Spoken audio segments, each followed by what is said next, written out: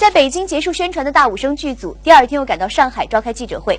虽然主创们辛苦赶场都是为了电影票房，但韩庚却出人意料地表示，其实他有点不太希望影迷们到影院支持自己。电影《大武生》是韩庚初次接触大银幕的作品。为了支持偶像，韩庚的影迷自发性的在上海记者会现场向每一位来宾派发《大武生》的电影票。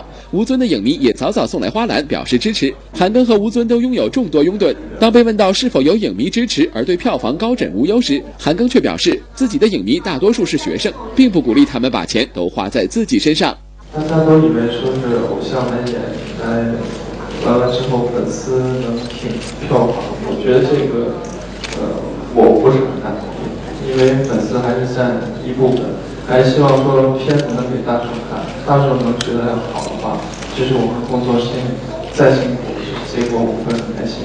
粉丝只是一部分，大家不要注注重在粉丝身上，男朋友希望，大家也不要注重在粉丝身上去赚些钱，他们还年轻。不管怎样，还是有不少影迷对大武生表现出极高的期待。除了主演们的京剧造型充满新鲜感外，吴尊、韩庚、徐熙媛的打斗戏也是影片的一大看点。